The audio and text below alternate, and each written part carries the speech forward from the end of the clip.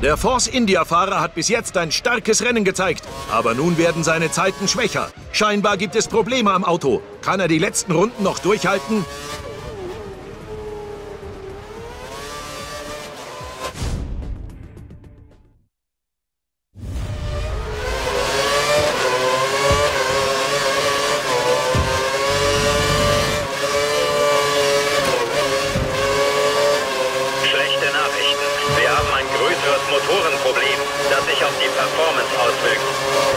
Das Auto vor Adrian ins Ziel zu bringen und zeig dem Team, dass du auch in so einer Situation der bessere Fahrer bist.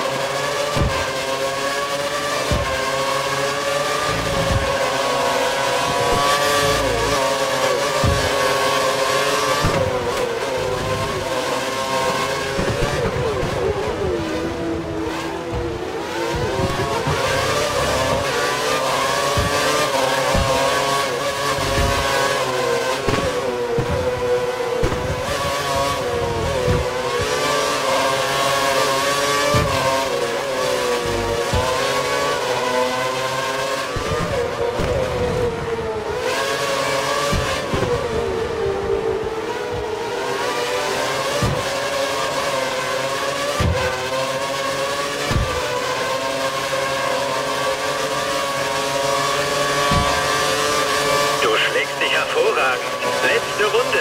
Halte die Position.